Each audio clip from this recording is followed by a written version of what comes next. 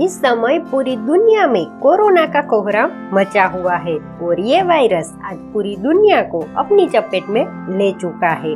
Corona Covid 19 के नाम से भी प्रचलित है। हेलो दोस्तों, मैं पारुल एक बार फिर से आप सभी का स्वागत करती हूँ पे।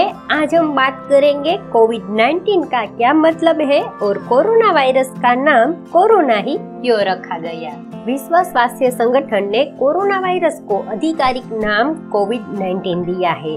तो चलिए जानते हैं कोविड 19 का क्या मतलब है, जिसमें सीओ का मतलब कोरोना वीआई का मतलब वायरस। डी का मतलब डिज़ीज़ और 19 का मतलब 2019 क्योंकि इसका पहली बार पता वर्ष 2019 में ही लगा था। यानी कोविड 19 का मतलब है कोरोना वायरस डिज़ीज़ 2019 अब बात करेंगे कि कोरोना वायरस का नाम कोरोना ही क्यों रखा गया?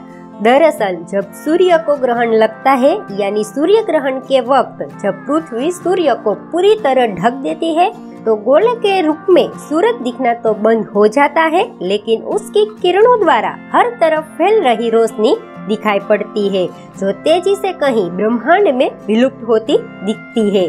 पृथ्वी की छाया के चारों तरफ़ फैल रही सूर्य की इस रोशनी को कोरोना कहा जाता है। जब वैज्ञानिकों ने कोरोना वायरस को इलेक्ट्रॉन माइक्रोस्कोप के ज़रिए देखा तो उन्हें यह वायरस सूर्य के कोरोना जैसा दिखाई दिया। दरअसल, यह वायरस गोल है और उसकी सतह पर सूर्य के कोरोना की तरह प्रोटीन की शाखाएँ उगी हुई है, जो हर दिशा में फैलती हुई महसूस होती है। इसी कारण इसका नाम कोरोना रखा गया है। आज का वीडियो यहीं पे समाप्त करते हैं। अगर आपको वीडियो अच्छा लगा हो तो वीडियो को लाइक, शेयर और सब्सक्राइब ज़रूर से कीजिए। फिर मिलेंगे कुछ नए वीडियो के साथ।